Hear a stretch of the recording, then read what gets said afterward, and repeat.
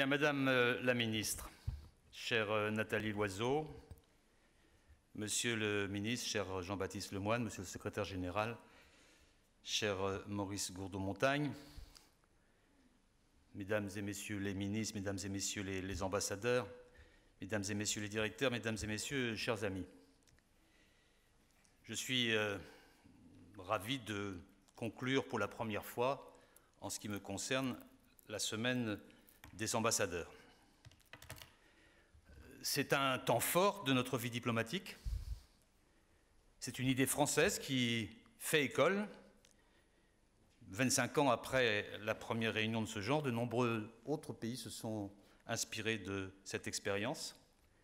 J'ai d'ailleurs été euh, récemment l'invité de la conférence italienne et je me rendrai bientôt auprès des ambassadeurs allemands, comme euh, le ministre des Affaires étrangères allemand est venu devant vous hier. Il nous revient donc de faire vivre cette belle idée en continuant à l'enrichir et d'en tirer les conclusions utiles pour notre action internationale. Et c'était bien le cas cette année encore. Je tiens à remercier le secrétaire général, Maurice Gourdeau-Montagne, son prédécesseur, Christian Masset, ainsi que leurs équipes, en particulier le secrétaire général de cette semaine des ambassadeurs, Philippe Autier, pour leur excellent travail. Je veux aussi remercier toutes et tous pour euh, la confrontation utile des points de vue, les échanges directs et francs que nous avons eus, et votre engagement auprès du grand public ou des entrepreneurs pour mieux faire connaître notre diplomatie. J'attendais ce moment avec euh, impatience, quelques semaines en fait, après ma prise de fonction, et après déjà de nombreux déplacements, euh, beaucoup de rencontres, il euh, me permet de vous exposer les priorités que j'assigne euh, à notre action et de vous détailler mes instructions pour que vous puissiez vous attacher avec efficacité à la réalisation des objectifs que le président de la République vous a présentés mardi. Je veux le faire sur la base des échanges très riches que j'ai eus avec vous cette semaine, notamment pendant notre huis clos d'hier.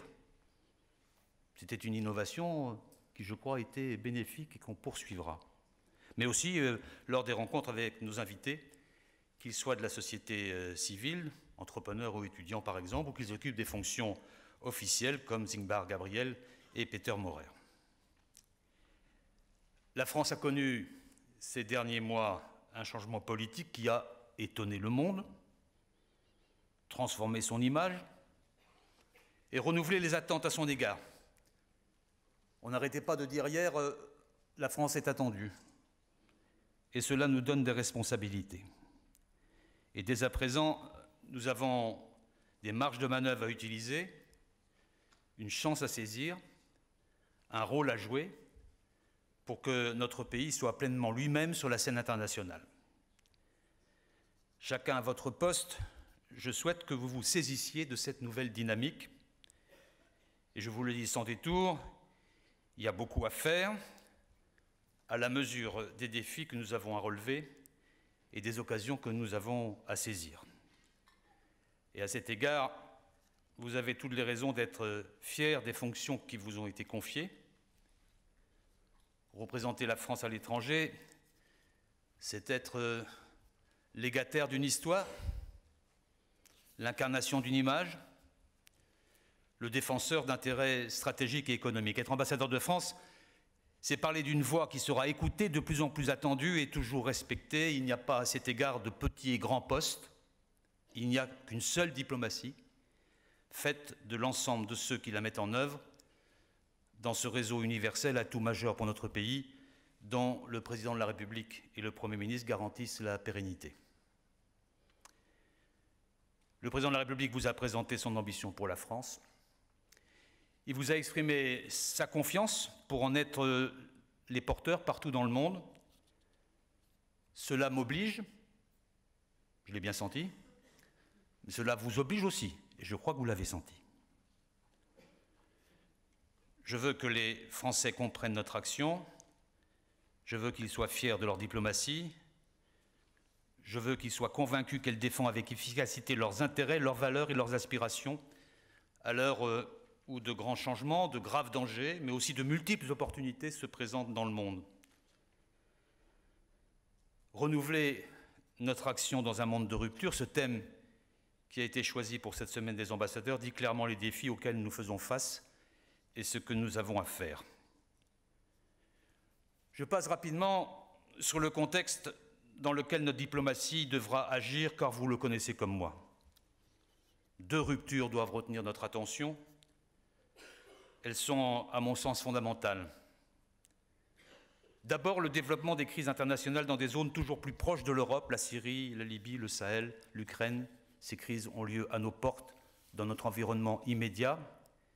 Ce qu'il s'y produit a des effets directs sur nous. Nous le mesurons, entre autres, avec le développement de la menace terroriste ou face à la crise migratoire qui affecte l'Europe depuis près de cinq ans, ou encore lorsque notre architecture de sécurité européenne semble vaciller. Ensuite, euh, la seconde rupture essentielle concerne l'organisation de l'économie internationale. Si la crise de la fin des années 2000 était une crise financière, c'est le spectre des tensions commerciales qui se fait désormais jour, avec une Chine euh, toujours déterminée à contrôler étroitement son économie et une Amérique tentée de fermer pour le défendre, son immense marché intérieur. Et face à cela, la seule réponse qui vaille est européenne, j'y reviendrai. Mais pour faire entendre sa voix et défendre ses intérêts, je vous l'ai dit, je crois, avant-hier, l'Europe doit intégrer une culture du rapport de force qui lui a trop souvent fait défaut. Ces deux ruptures découlent et témoignent en même temps d'un retour des logiques de puissance. Des stratégies hégémoniques et conflictuelles se déploient sur les territoires, mais aussi dans de nouveaux espaces disputés au cœur de la mondialisation, qu'il s'agisse des, espaces marins, extra-atmosphériques ou cyber. À travers elles, on assiste au retour de stratégies de domination ou d'intimidation, comme à la résurgence d'une volonté de construire des zones d'influence où l'on se partagerait la planète entre grands, et un affaiblissement corrélatif des organes multilatéraux de régulation de l'ordre international. La compétition est plus aiguë que jamais et la coopération moins évidente. Cette situation, nous devons être capables de la prendre en compte dans notre politique étrangère sans tomber dans le simple accompagnement de cette réalité nouvelle. Notre devoir, c'est de nous donner les moyens de résister à ceux qui adoptent des postures agressives de ce genre pour faire prévaloir le droit au niveau international et la recherche collective de la paix. C'est le sens des augmentations annoncées par le président de la République du budget de la défense qui sera porté à 2% du PIB en 2025. Dans cet environnement international bouleversé, que faire et, comment agir? J'y vois euh, plusieurs lignes directrices pour notre action. Premièrement, face à des puissances qui affirment plus nettement leurs intérêts, nous devons être en mesure de faire de même. Cela exige d'abord de définir nos intérêts, ensuite de les hiérarchiser, d'y associer des moyens afin enfin d'être animés par une véritable vision stratégique au sens propre du terme. Deuxièmement, ce monde moins régulé ne doit pas nous faire peur ou nous pousser au repli. La France tient une place importante parmi les nations. Contrairement à ce qu'un certain pessimisme se plaît à répéter, notre pays n'est pas en déclin. La France a des atouts solides pour maintenir son rang, une défense forte, une base technologique solide, un rayonnement culturel mondial, une image positive et bientôt, je l'espère, grâce aux réformes voulues par le président de la République, et mise en œuvre par le gouvernement une économie plus dynamique. J'en veux pour preuve le nombre de ceux qui, vous le voyez au quotidien, cherchent à développer leurs relations avec nous. C'est une force, notamment lorsque ces liens sont créateurs de partenariats dynamiques inscrits dans la durée. Je pense notamment, parce que je m'y suis investi personnellement dans une autre vie, à la relation que nous avons bâtie euh, ces dernières années avec l'Inde ou avec l'Australie. Pour autant, et c'est ma troisième ligne directrice, nous ne devons pas nous contenter de régler notre action sur le monde tel qu'il est. Notre rôle est de promouvoir euh, l'action collective et les normes internationales. La promotion de normes est plus indispensable que jamais face aux défis globaux qu'il nous faut relever, qu'il s'agisse de notre sécurité, du climat, des échanges, de l'éducation. Les incertitudes et les ruptures à l'œuvre dans le monde rendent cette exigence sans doute plus difficile que par le passé, mais elle est indispensable. Et ma méthode est simple.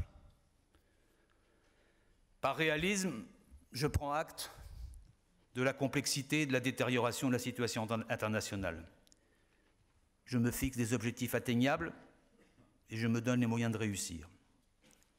Enfin, je tiens à le souligner clairement, je mesure le succès de notre action à l'obtention de résultats concrets. Et ma conviction, c'est que nous avons toutes les cartes en main pour mettre en œuvre une diplomatie pragmatique et efficace. Dans un monde en mouvement incessant, où les rapports de puissance sont incertains, notre force, c'est notre agilité. Notre force, c'est notre créativité. Notre force, c'est notre vitesse dans la réflexion et notre vitesse dans l'exécution. C'est cette diplomatie agile qu'il vous reviendra de mettre en œuvre. Pour autant, je ne confonds pas réalisme et cynisme. L'agilité doit être mise au service d'une vision le monde peut être changé et la France peut être et doit être, car c'est sa vocation, une force d'initiative et de progrès. Progrès des droits, progrès de la coopération, progrès de la paix. C'est dans cet esprit que je veux travailler avec vous et j'en viens aux priorités de notre action présente et à venir. Notre agilité sur la scène internationale découle par définition de notre capacité à agir librement, à conserver les éléments de notre autonomie stratégique et, comme le président de la République nous l'a demandé mardi dernier, à faire de notre indépendance un objectif prioritaire de notre diplomatie. Mais l'indépendance, ce n'est pas la solitude. L'indépendance, c'est la garantie que nous pourrons toujours prendre des initiatives, produire par notre action et notre puissance un effet d'entraînement politique et affirmer, s'il le faut, quand cela est nécessaire, notre leadership. La solitude limite le champ des possibles, elle restreint notre horizon diplomatique, l'indépendance au contraire garantit notre liberté d'évaluation, de conception et d'action. Et la question à nous poser, c'est donc avec qui voulons-nous travailler? D'abord avec l'Europe. Le président de la République a rendu à notre pays son ambition européenne. Il a obtenu des Français un mandat clair pour relancer le projet européen. C'est essentiel, je veux le dire avec force, l'Europe est le cadre primordial, vital même, dans lequel nos valeurs et nos intérêts s'épanouissent.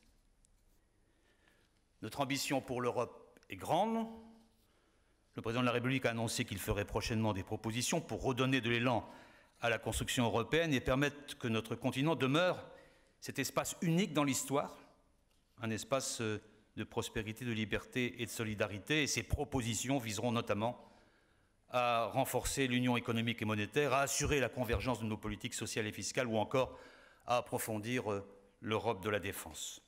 En somme, aller de l'avant sur tous les sujets utile pour nos concitoyens. Mais soyons lucides, ces sujets sont loin de faire l'unanimité parmi les États membres et il faudra faire preuve de conviction auprès de nos partenaires.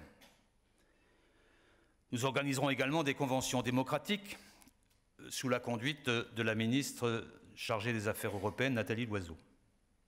Il s'agira d'aller à la rencontre de tous ceux, y compris les plus critiques, qui ont une position sur l'Europe afin d'identifier les attentes de la société et nous inviterons tous les États membres volontaires à faire de même. Pour redonner foi à nos concitoyens dans le projet européen, nous devons garder à l'esprit que l'Union européenne a de façon indissociable des intérêts et des valeurs, de manière indissociable.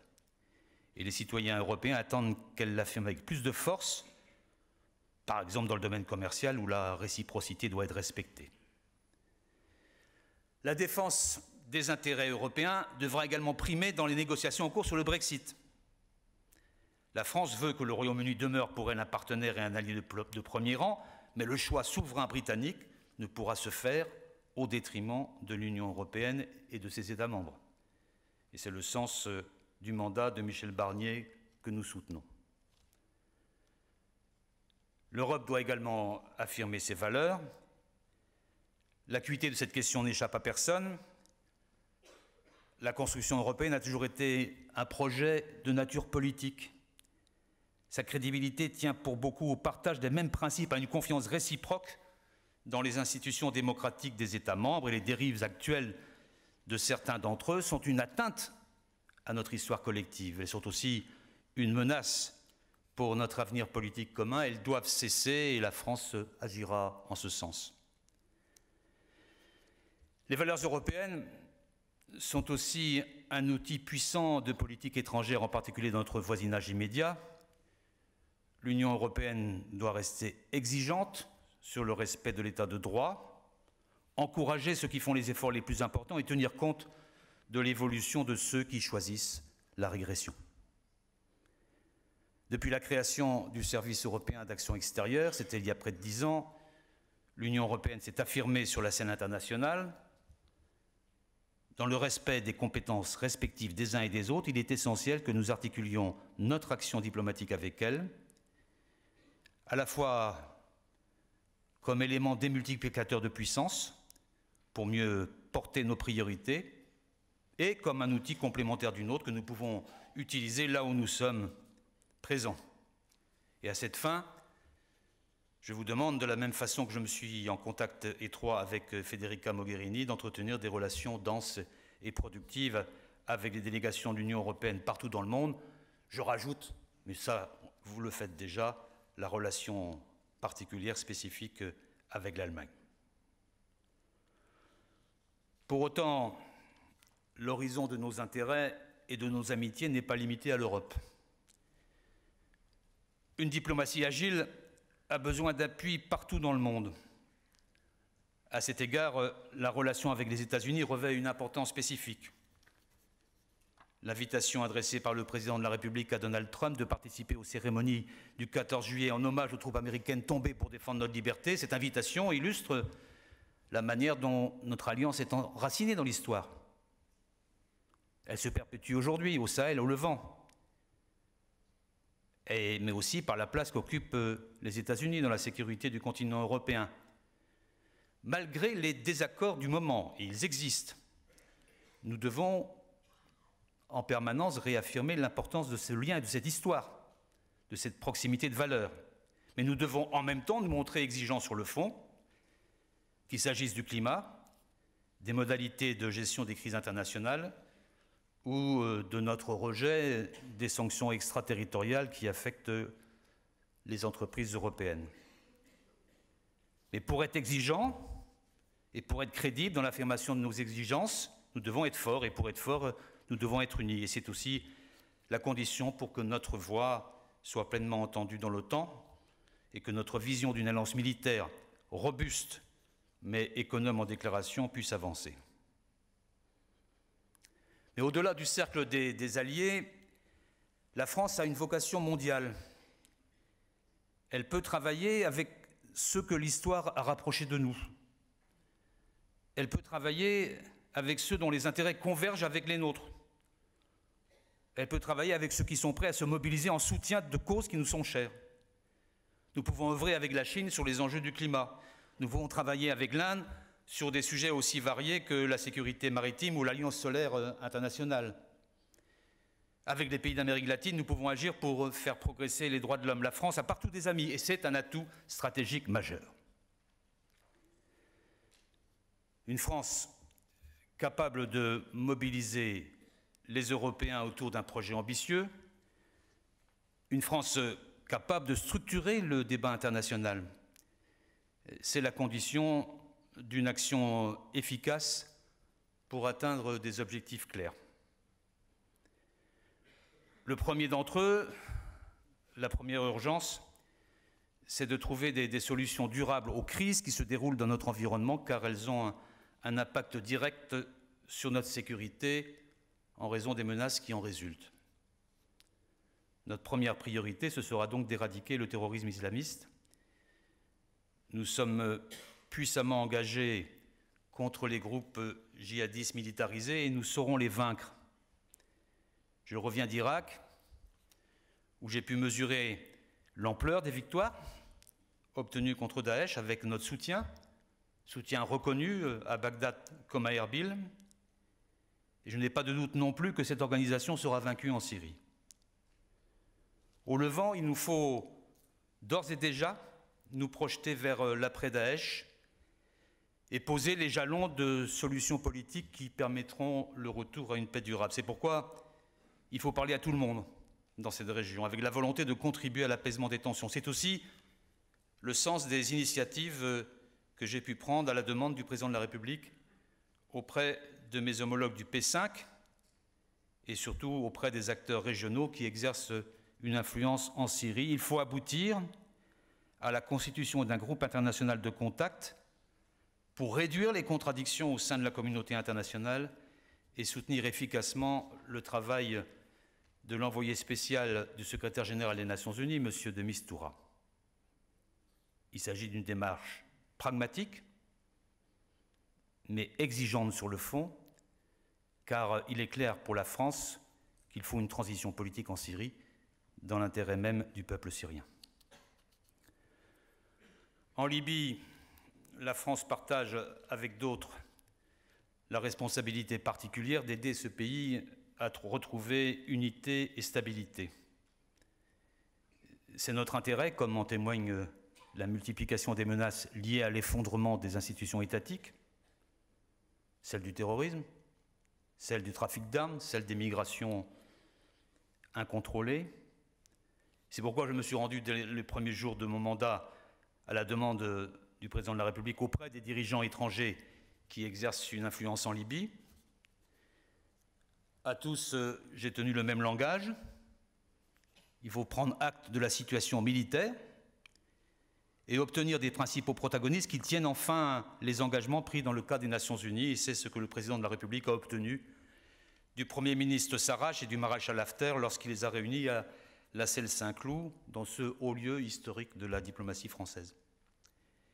Je vais me rendre très bientôt en Libye pour assurer le suivi de cette réunion et, rechercher le soutien de toutes les parties à la déclaration commune qui a été adoptée à cette occasion. Et c'est cela qui, je l'espère, avec le soutien de nos principaux partenaires, notamment l'Italie, permettra à l'envoyé spécial de l'ONU, M. Salamé, de parvenir à l'organisation en 2018 des élections qui marqueront le début d'une restauration effective de l'État en Libye.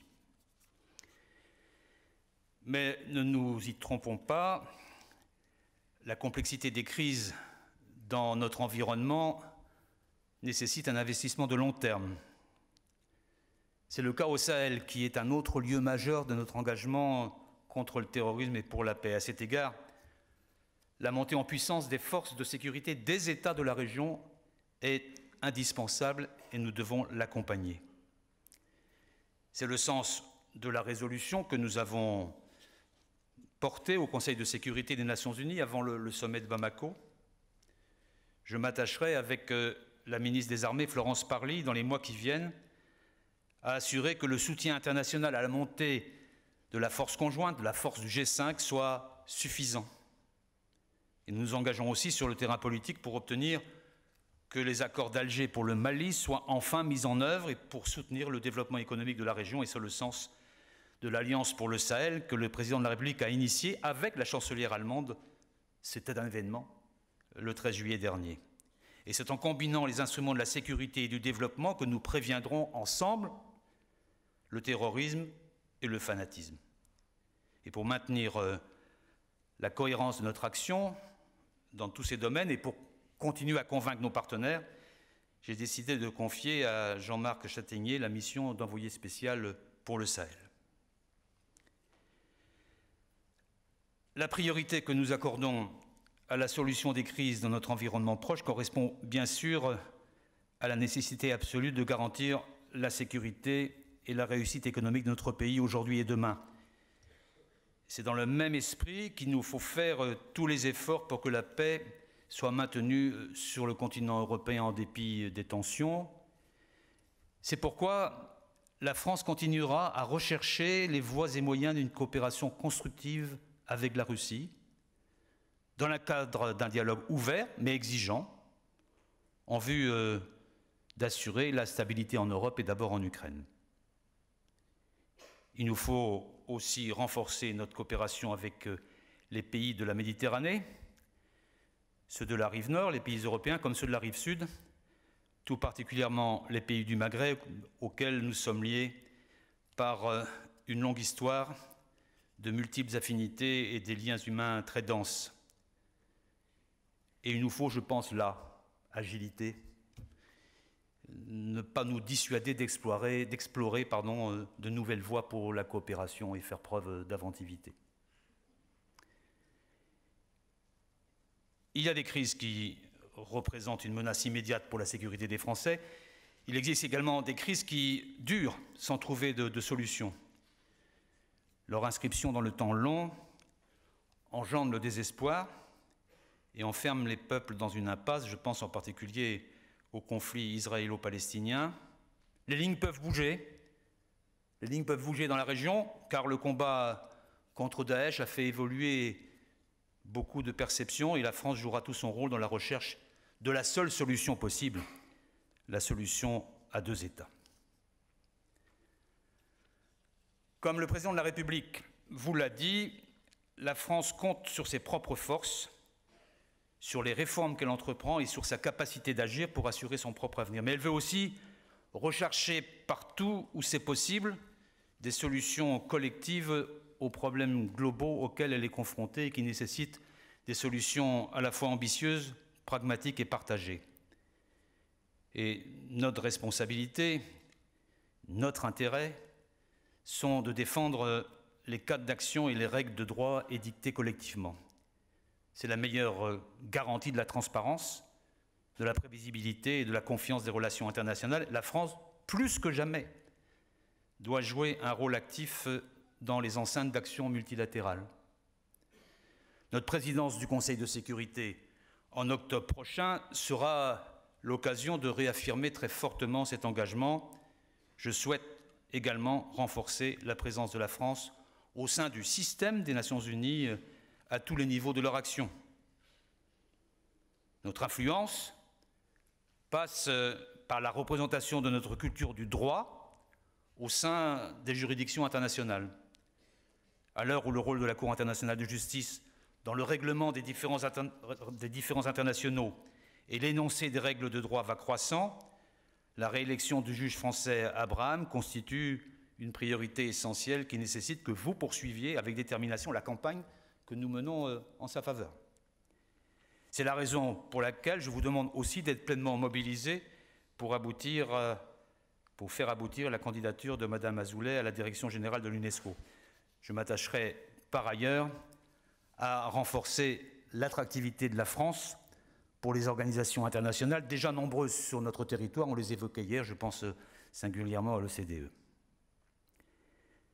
La crédibilité de notre système de sécurité collective tient aussi à sa capacité à s'adapter à un monde plus complexe, instable, interdépendant. C'est pourquoi nous soutiendrons le nouveau secrétaire général des Nations Unies, M. Guterres, dans sa volonté de réforme du système des Nations Unies.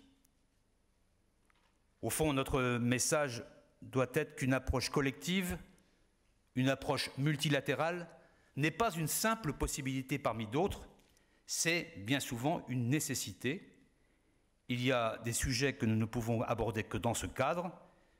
Ceux qui refusent de le voir aujourd'hui finiront tôt ou tard à en percevoir euh, l'évidence.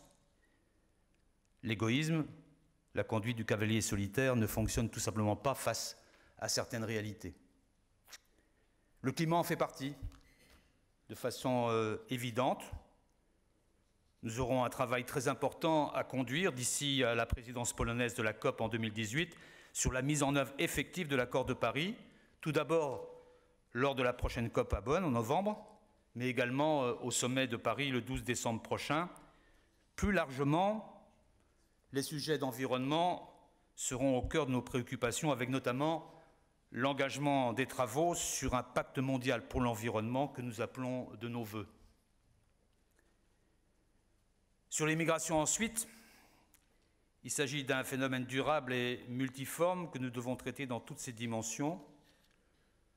Cela nécessite d'abord que nous assumions pleinement notre devoir d'asile à l'égard de ceux qui ont droit à notre protection. Cela exige ensuite que nous mettions en œuvre un ensemble complet de coopération avec les pays d'origine, de transit et d'accueil pour maîtriser les flux illégaux. Le président de la République m'a confié la mission de coordonner la mise en œuvre des décisions prises à cet égard le 28 septembre à, l'Élysée avec euh, nos différents partenaires européens et africains, et je m'appuierai pour cela sur un ambassadeur en charge des migrations qui disposera d'un mandat confié conjointement par le ministre des Affaires étrangères et le ministre de l'Intérieur. C'est assez rare. C'est aussi, s'agissant c'est aussi vrai, pardon, s'agissant de la prolifération des armes de destruction massive, sur la nécessité de l'approche multilatérale. Si la France a refusé de prendre part aux négociations sur un traité d'interdiction des armes nucléaires, elle maintiendra sa position et elle défendra sa position. Si nous avons pris cette position, c'est parce que dans un environnement stratégique incertain, et la Corée du Nord nous le rappelle avec une acuité particulière, une telle démarche ne peut qu'affaiblir le traité de non-prolifération nucléaire qui constitue le dispositif le plus équilibré et par conséquent le plus robuste dans ce domaine. Et ça, c'est un enjeu crucial. Face au risque renouvelé de prolifération des armes de destruction massive et de leurs vecteurs, qu'elles soient nucléaires, mais aussi biologiques et chimiques. Sur ce sujet, plus encore peut-être que sur tout autre, la politique de l'incantation confine à l'irresponsabilité. Et c'est par des actes concrets que nous créons un environnement plus sûr. C'est la raison pour laquelle, je le redis, après le président de la République, nous sommes les gardiens vigilants de l'accord euh, du 14 juillet 2015 sur le nucléaire iranien. La France a défendu un accord rigoureux. Elle s'attachera désormais, elle s'attache désormais à son application très stricte. Il était en effet essentiel de lutter contre la dangereuse banalisation de l'utilisation de ces armes. Je pense au nucléaire, mais je pense aussi aux armes chimiques en Syrie qui ont semé la mort et remettent en cause les efforts euh, multilatéraux conduits depuis tant d'années. Les auteurs d'attaques chimiques auront à répondre de leurs actes devant la justice. Et sur ce sujet, la France veillera à ce qu'il n'y ait jamais d'impunité. Les criminels qui ont pris la responsabilité d'utiliser de telles armes doivent savoir que même dans 5 ans, 10 ans, 15 ans, nous poursuivrons nos efforts pour faire condamner les coupables. Il en va de l'avenir de l'ensemble de notre système de sécurité collective. On ne doit pas pouvoir en violer les normes les plus fondamentales sans en subir un jour les conséquences. Et sur la base de ce principe, la France proposera des initiatives prochainement à ses partenaires. Le développement des moyens de communication et d'Internet a révolutionné les échanges. Il en résulte une démultiplication d'opportunités, mais aussi de nouveaux risques. Les attaques cyber nous le rappellent. Là aussi, une approche collective est indispensable. La France et ses partenaires sont engagés pour appréhender cette nouvelle réalité sous l'angle du droit international et des normes de comportement. Et dans ce domaine, nous devons penser agilité, initiative, les conditions d'une nouvelle forme de stabilité stratégique et définir clairement nos intérêts, nos intérêts de sécurité, nos intérêts économiques, mais aussi euh, en termes de préservation du pluralisme et de défense de nos, institutions démocratiques, et trouver les équilibres en la matière. C'est pourquoi, à la demande du Premier ministre, je présenterai à l'automne une stratégie euh, internationale numérique pour la France en me fondant sur euh, l'excellent travail réalisé par euh, David Martineau en lien avec l'ensemble des services concernés. À partir de là, dans ce champ nouveau où les acteurs sont multiples et de types différents, nous devrons bâtir des coalitions et convaincre non seulement les États, mais aussi les entreprises et l'ensemble des acteurs privés, y compris associatifs. Pour mener à bien chacun de ces chantiers, il faut que la France soit elle-même exemplaire, fidèle à ses valeurs et respectueuse des engagements qu'elle prend auprès de chacun de nos partenaires. Et c'est en cet esprit que je conduirai avec conviction l'action de la France dans le domaine des droits de l'homme. La France euh, agira parce que telle est sa vocation. Aucun ordre stable ne peut être fondé sur l'injustice. Je renforcerai aussi notre action humanitaire dans un contexte où les violences contre les populations civiles s'exacerbent. 128 millions de personnes ont besoin d'une aide humanitaire immédiate à travers le monde. Et c'est parce qu'elle est consciente de la nécessité de travailler plus efficacement avec les acteurs locaux, au plus près du terrain, que la France adhérera prochainement au Grand Bargain et aux engagements qui en découlent en termes de valorisation des ONG locales. Les attentes à l'égard de notre pays comme partenaire euh, du développement sont également grandes. Les défis euh, seront multiples au cours des cinq prochaines années. Notre voix sera attendue sur nombre de sujets qui nécessitent que nous disposions de moyens nécessaires à notre action sans recourir obligatoirement aux financements multilatéraux et sans nous abriter obligatoirement derrière d'autres États européens qui disposent de moyens plus conséquents. Je pense d'abord à la mise en œuvre de l'accord de Paris. Ensuite, il y a nos engagements de longue date dans le domaine de la santé, nous sommes le deuxième contributeur au Fonds mondial de lutte contre le sida, la tuberculose et le paludisme. C'est enfin l'éducation, accélérateur de développement, qui mérite un, traitement particulier, y compris pour euh, faciliter l'accès des filles et des adolescentes à une éducation de qualité jusqu'à la fin du secondaire. Pour financer euh, ces priorités, le président de la République et le Premier ministre ce matin, vous l'avez entendu, a confirmé l'objectif euh, d'une euh, APD représentant 0,55% du PIB, ce qui suppose, je pense qu'ils l'ont compris, de passer de 8 milliards et demi à 15 milliards en 2022, en tenant compte des hypothèses de croissance actuelles. Je décline les engagements. Une telle augmentation constitue en soi un enjeu et je sais pouvoir compter sur euh, l'expertise de la Direction générale de la mondialisation et de la Direction générale de l'administration pour construire rapidement un scénario pertinent de montée en puissance que le président de la République m'a demandé. Notre politique étrangère sera d'autant plus efficace que nous aurons pris euh, toutes les mesures nécessaires au redressement de notre pays, à la revitalisation de son économie et au déploiement de tous ses talents. Le Premier ministre vous l'a dit ce matin, notre programme de réforme est un programme de transformation. Vous aurez à le relayer à l'étranger pour que l'image de notre pays évolue et qu'il devienne connu non seulement pour sa qualité de vie, mais aussi pour euh, son excellence dans l'industrie et les services, mais aussi pour qu'il soit enfin vu.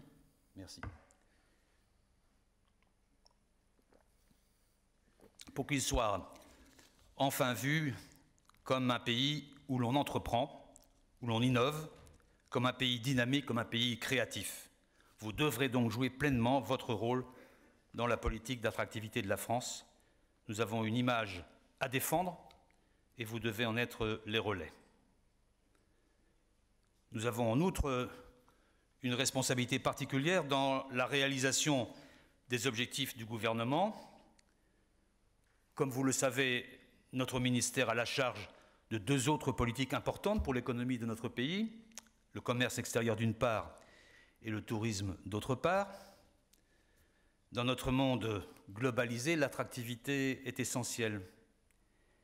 Elle exige que nous ayons une diplomatie économique ambitieuse et cohérente, capable de porter les intérêts de nos entreprises, capable aussi d'intégrer pleinement les enjeux économiques dans l'analyse des situations stratégiques. Et dans ce but, notre premier objectif est de faciliter l'accès de nos entreprises aux marchés internationaux. Les chiffres parlent d'eux-mêmes pour mesurer notre marge de progression. Aujourd'hui, euh, seulement 125 000 de nos entreprises sont présentes à l'exportation. Mon objectif est que 200 000 de nos entreprises soient exportatrices en 2022 en partant à la conquête de nouveaux marchés en Afrique, en Asie, en Amérique latine, là où se trouve l'avenir de la croissance mondiale. Et pour cela, il faut une méthode. Parce qu'on ne peut pas dire que ça va quand euh, notre déficit de biens et services euh, s'accroît euh, année après année. Donc il faut changer des choses. Une méthode qui conjugue la simplicité et l'efficacité. L'exigence de simplicité, c'est de la volonté de définir clairement un objectif, une action unifiée, un acteur chef de file, et pour cela de décloisonner ce qui fonctionne encore trop souvent en silo. C'est la méthode des équipes France. Je l'ai expérimenté avec un certain succès dans mes précédentes fonctions. Mon exigence est celle de l'efficacité afin de privilégier les actions qui ont un réel retour sur l'économie française. Votre rôle est d'ouvrir la voie à nos entreprises. Pour cela, vous avez la responsabilité du pilotage stratégique de la relation commerciale dans vos pays de résidence. Les PME et les ETI sont votre priorité.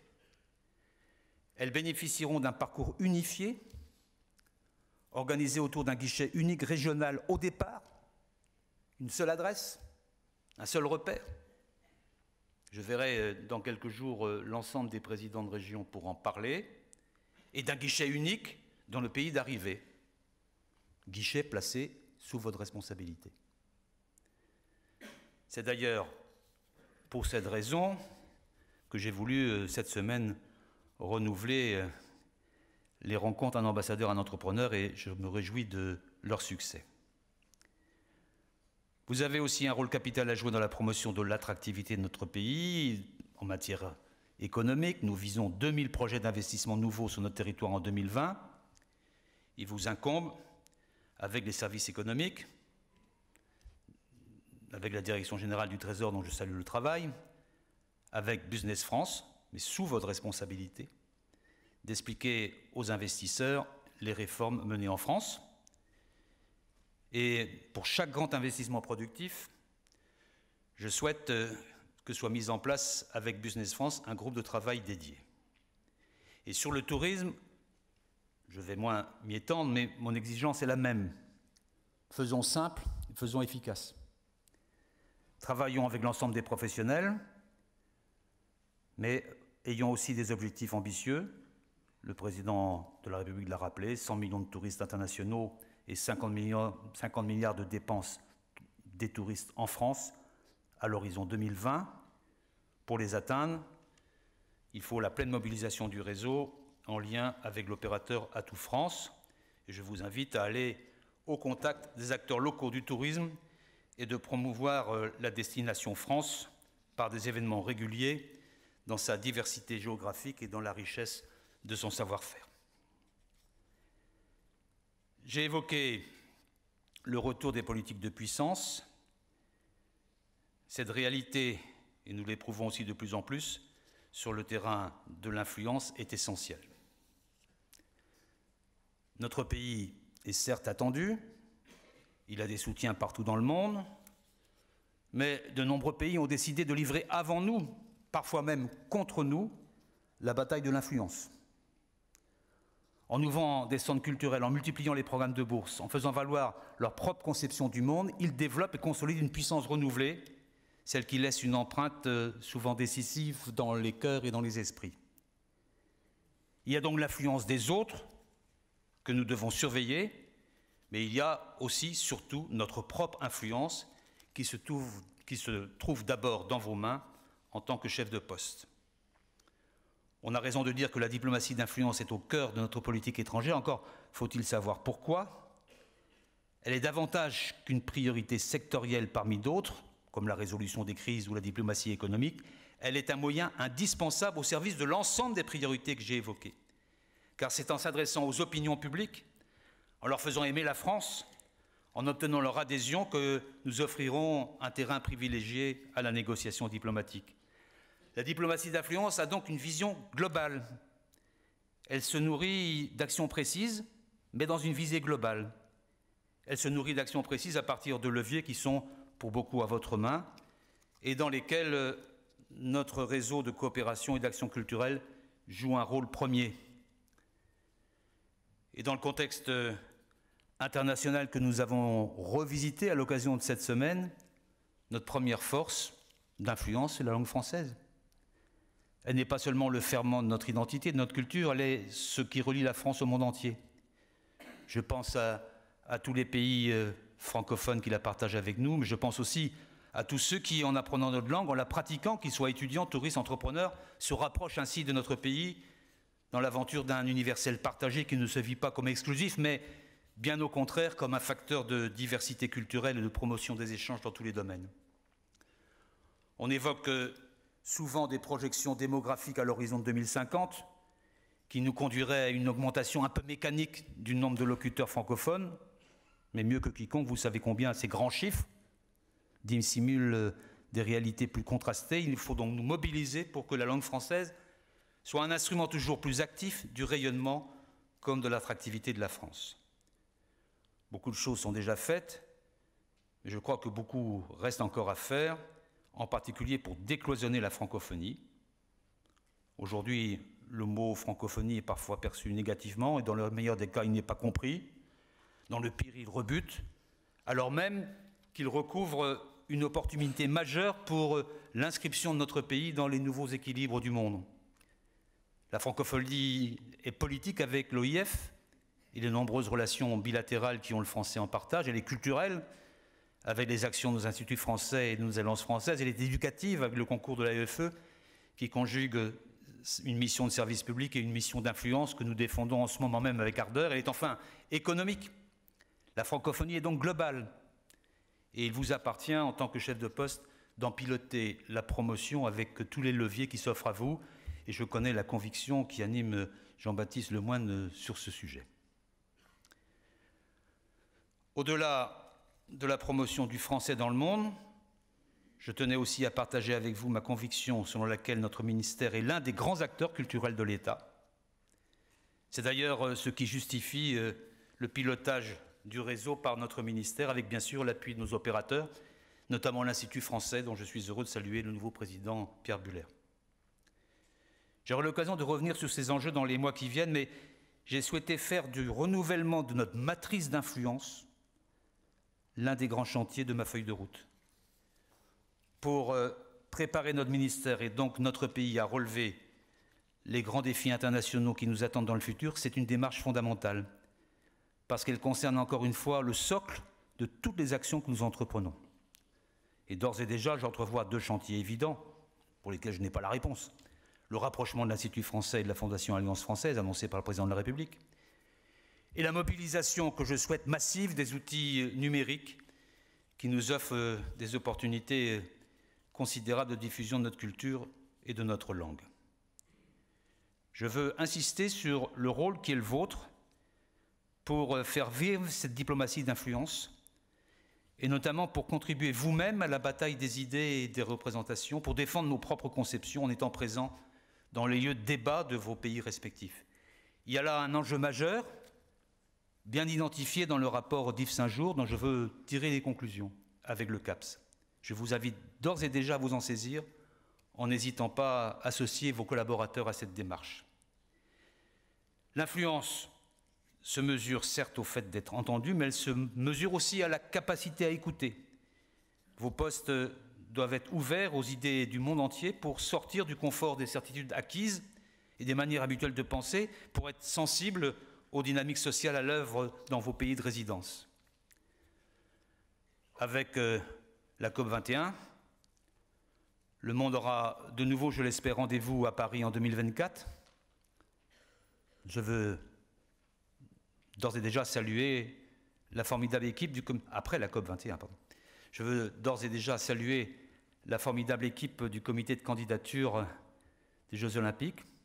Certains de ses représentants sont présents parmi nous. Je sais qu'il ne faut pas dire que c'est gagné, donc c'est pas gagné.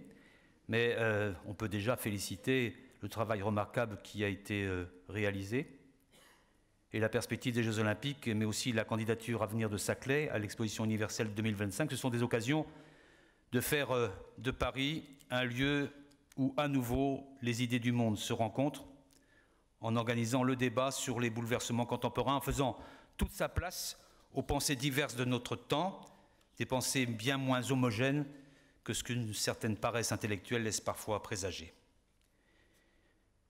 Mesdames les ambassadrices, messieurs les ambassadeurs, pour faire tout cela, c'est beaucoup, il nous faut non seulement du talent et du dévouement, mais aussi des moyens. Nous le savons tous.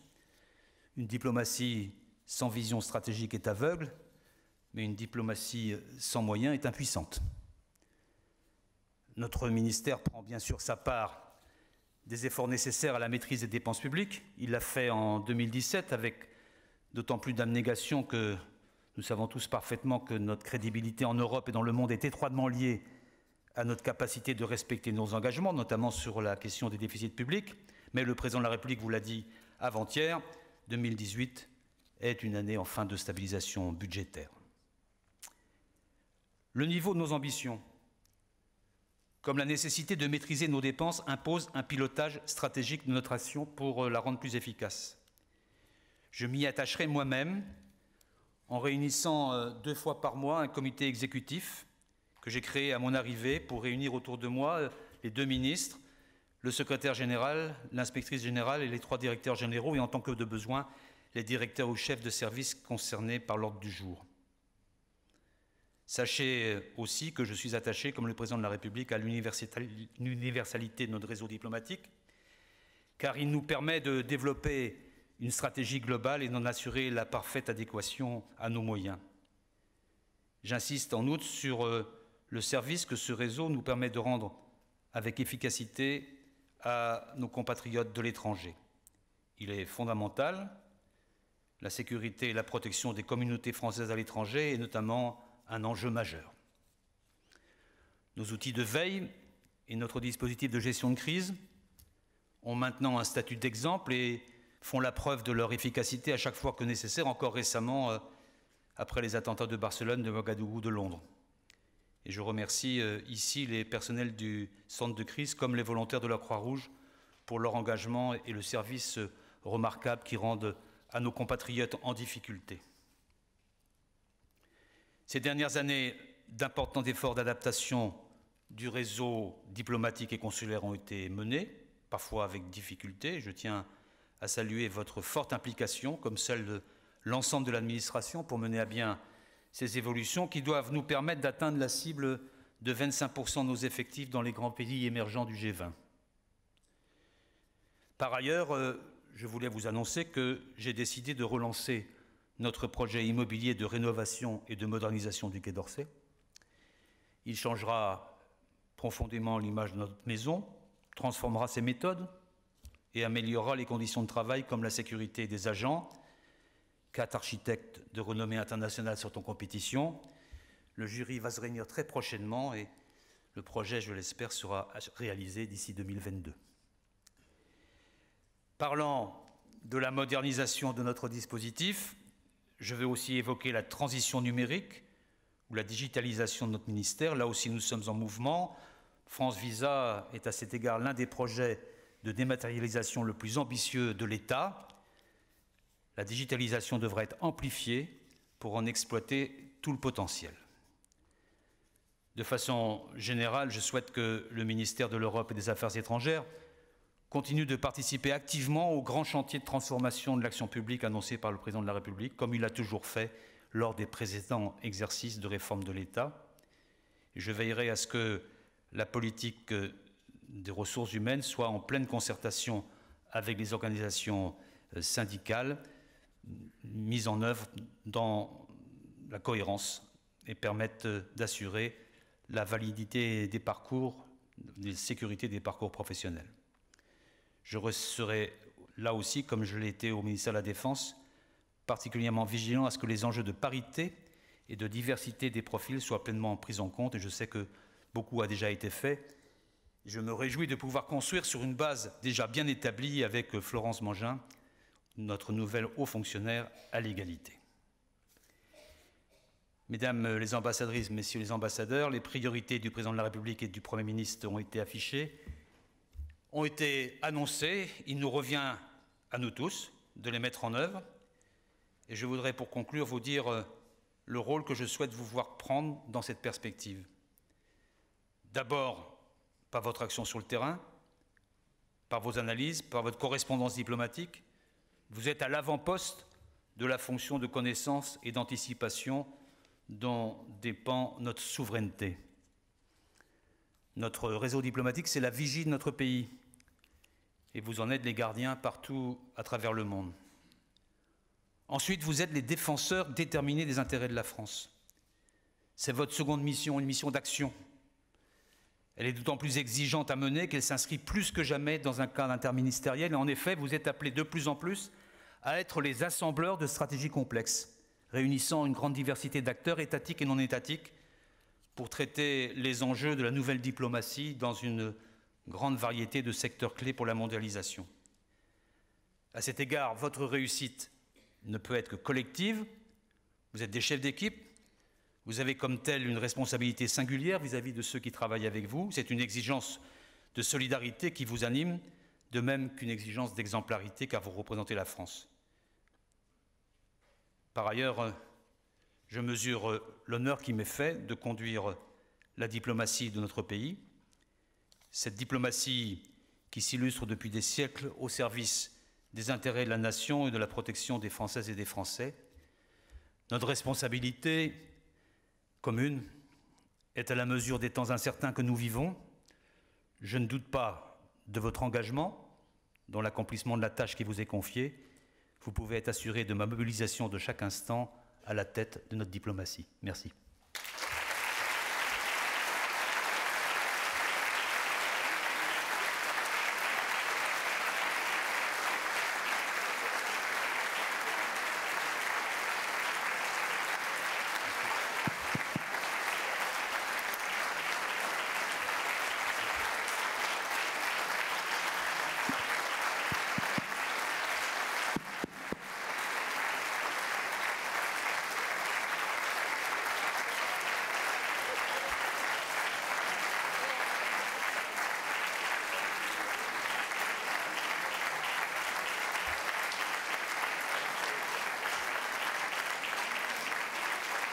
Merci beaucoup. Et bon courage à vous, à bientôt. Mesdames et messieurs les ambassadeurs, vous êtes invités à vous rendre sur le perron